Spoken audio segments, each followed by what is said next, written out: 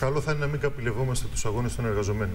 Mm Ιδιαίτερα κόμματα που έχουν ψηφίσει μνημόνια, που έχουν ψηφίσει αντεργατικού αντιλαϊκούς νόμους και έχουν ψηφίσει και τον περιορισμό του δικαιώματος απεργίας. Θεωρείτε ότι καπηλεύομαι τον αγώνα κάποιων εργαζομένων, κύριε Γνωρίζετε πάρα πολύ καλά. Γνωριζόμαστε πάρα πολλά χρόνια για να ξέρετε αν καπηλεύομαι λοιπόν, ή όχι τον αγώνα Γνωρίζετε πάρα πολύ καλά ότι εμείς, για παράδειγμα, το Κομμουνιστικό Κόμμα Ελλάδας, ποτέ δεν ήρθαμε εδώ πέρα για να πούμε για τον αγώνα μας για την ΕΡΤ. Και γνωρίζετε πάρα πολύ καλά εσείς, κυρία Καβαδία, ότι ναι. το πρώτο κόμμα που βρισκόταν εδώ εκείνη την ημέρα ήταν το Κομμουνιστικό Κόμμα Ελλάδα και προσωπικά μου και εγώ. Ακούσατε να λέω λοιπόν, κάτι για την προσωπική μου συμβολή στον αγώνα εργαζόμενοι, ακούστε, Ο κύριος Βορύδης είπε κάτι πολύ συγκεκριμένο. Δεκάδες εργαζόμενοι, ακούστε αυτό το πιο σπουδαίο. Ο κύριος Βορύδης Δεκάδες εργαζόμενοι και συνδικαλιστικά στελέχη του ΠΑΜΕ έχασαν τη δουλειά τους επειδή απήργησαν για την ΕΡΤ. Και δεν έχασαν τη δουλειά τους. Ούτε αγωνίστηκαν χιλιάδες άνθρωποι για να έχουμε ένα κυβερνητικό προπαγανδιστικό μέσο για να τα ακούσετε όπως πρέπει.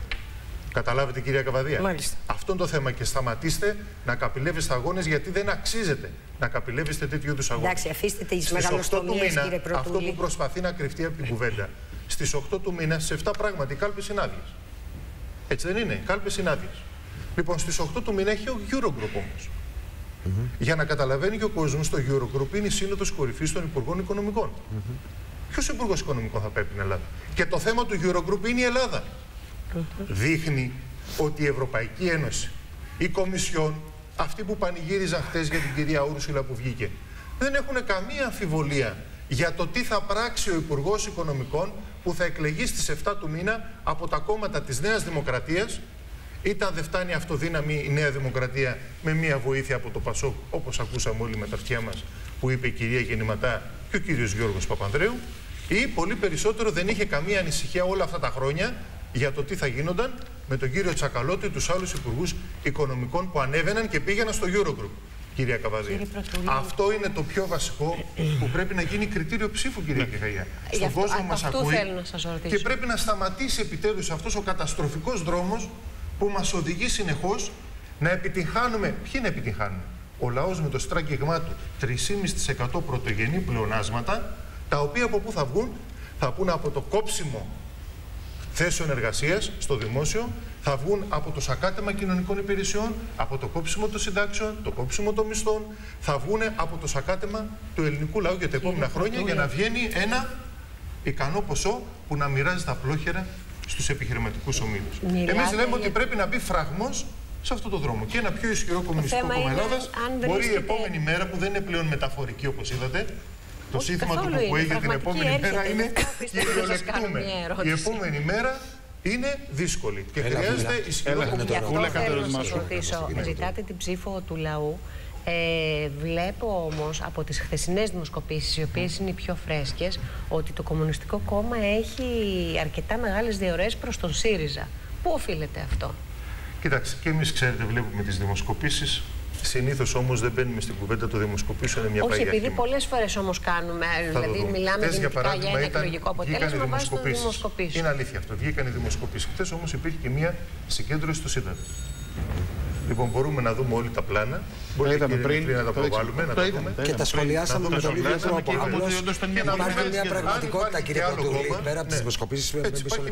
Υπάρχει μια πραγματικότητα στον κόσμο. Εσείς θεωρείτε δηλαδή ότι αποκρίνεται, αλλά τα ποσοστά του Κομμουνιστικού ναι, Κόμματος στα χρόνια της κρίσης είναι σταθερά. Αντιφατικές δεν ανεβαίνουν στους ανθρώπους. Λοιπόν, εμείς όμως πού πρέπει να σταθούμε; Πρέπει να σταθούμε ότι υπάρχουν πράγματι χιλιάδες εργαζόμενοι. Χιλιάδες εργαζόμενοι που την ναι. προηγούμενη φορά, ιδιαίτερα στις ευρωεκλογές, με βαριά καρδιά, ας το πούμε έτσι, ψήφισαν κάτω από τα γνωστά διλήμματα με τα οποία όλοι μεγαλώσαμε, ψήφισαν τα ίδια κόμματα τα οποία τον οδήγησαν στη ζωή, στη μίζερη και άσχημη ζωή που ζει σήμερα. Και λέμε ότι φτάνει. Έχει έρθει η ώρα αυτό το μεγάλο ποτάμι που βλέπει όλος ο κόσμος στις οθόνες του, αυτό το μεγάλο ποτάμι να εκφραστεί και στην κάλπη, να ισχυροποιηθεί όσο γίνεται περισσότερο το Κομμουνιστικό Κόμμα Ελλάδα. Υπάρχουν δημοσκοπήσεις, τις οποίες τις παίρνουμε υπόψη μας. Υπάρχει και η πραγματική ζωή και τα μηνύματα που παίρνουμε από πραγματικούς ανθρώπους, ζωντανούς, να το βλέπετε τα πλάνα, ζωντανούς ανθρώπους, Μπορούμε να πούμε επειδή υπάρχει και μια πρόκληση, ας πάει και οποιοδήποτε άλλο κόμμα να κάνει συγκέντρωση στο Σύνταγμα και κόμματα που διεκδικούν την κυβερνητική εξουσία, δηλαδή η Νέα Δημοκρατία, Το Πασόκ το είδαμε, πήγε σε ένα πεζόδρομο στο Θησίο. Ο ΣΥΡΙΖΑ mm -hmm. είδε εδώ το Σύνταγμα, μπορεί να πάει στο Σύνταγμα. Παρ' όλα αυτά το Πασόκ έρχεται στην τρίτη θέση. Ο κύριος Τσίπρας μιλάει λοιπόν, στο Σύνταγμα. Ναι, και θα το δούμε και θα τα συγκρίνουμε. Που σημαίνει λοιπόν, ότι οι εργαζόμενοι παρότι ψηφίζουν αυτά τα κόμματα, πράγματι έτσι. Ναι. Τα ψηφίζουν, αποδεικνύεται αυτό που λέμε εμείς. Ότι τα ψηφίζουν με βαριά καρδιά, χωρίς να περιμένουν, χωρίς να ψηφίσουν.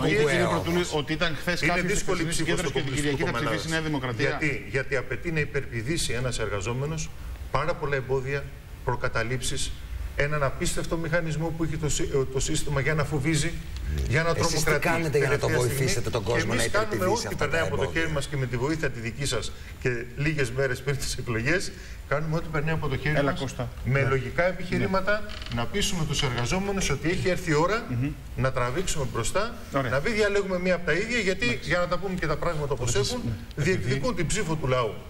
Τέσσερα μνημονιακά κόμματα Ελάτε, Δύο ακροδεξιά ναι. και το Κομμουνιστικό Κόμμα Ελλάδας. Το Κομμουνιστικό Κόμμα Ελλάδας κατέθεσε πάνω από 150 τροπολογίες στην Βουλή για την ανακούφιση των εργαζόμενων, των συνταξιούχων, των επαγγελματιών, των μικρών εμπόρων, των μικρών επιχειρηματιών. Όλες απορρίφθηκαν. Mm -hmm. Προτάσεις νόμου, οι οποίες αρκετές από αυτές δεν συζητήθηκαν ποτέ. Όπως για παράδειγμα οι πρώτε που καταθέσαμε για την επαναφορά του βασικού μισθού στα 751 ευρώ και την επαναφορά των συλλογικών συμβάσεων στο κάτω-κάτω της γραφής, όπως ίσχυε μέχρι το 2011. Μάλιστα. Λοιπόν, αυτές, ορισμένες από αυτές δεν συζητήθηκαν καθόλου. Και από κοινή, με κοινή στάση από τα υπόλοιπα κόμματα, τα οποία έχουν μια συγκεκριμένη δέσμευση από το τρίτο μνημόνιο που ψήφισαν το καλοκαίρι του 2015. Αύριο υπάρχει και μία επέτειος, είναι η επέτειος του δημοψηφίσματος.